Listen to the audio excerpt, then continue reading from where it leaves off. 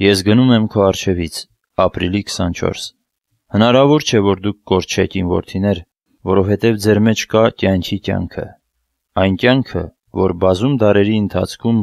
ոտքի վրա է պահել իմ հետևորդներին վտանգի, թշնամանքի, հակառակության ու տրտմության ժամանակ։ Մեկ անգամ արդեն ծնվելով հոգուց, այն դառնում է ձեր կյանքի շունչը։ Պետք չէ բնավ տարակուսել, պետք չէ մտահոգվել, հարկավոր է քայլ առ քայլ ընթանալ ազատության ճանապարհով։ Ջանացեք այդ ճանապարհը քայլել ինձ հետ։ Այո, ինձ հետ քայլելը նշանակում է ազատագրվել մտահոգությունից եւ անձկությունից, բայց այդ բնավ չի նշանակում, որ հարկավոր չէ ճիք ու ջանք թափել։ Երբ իմ աշակերտները ասացին, թե ամբողջ գիշեր աշխատել են, բայց ոչինչ չեն բռնել, ես նրանց նավակը չլցրեցի ձկներով առանց աշխատանքի։ Ոչ։ Իմ հրամանը པարզ էր. Առաջ քշեք նավը դեպի խորը տեղերը եւ նետեք ձեր ուրկանները որսի համար։ Իրենց կյանքը վտանգվեց։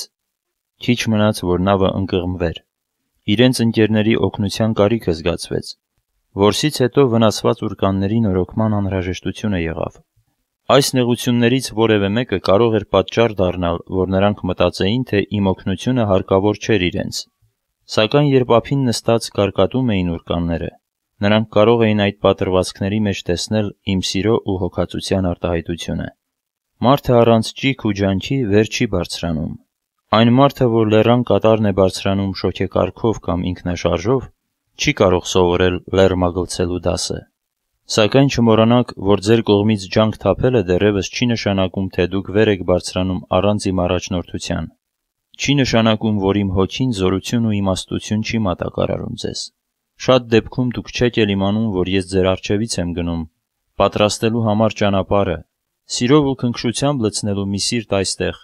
հանձնարարություններ տալու այնտեղ։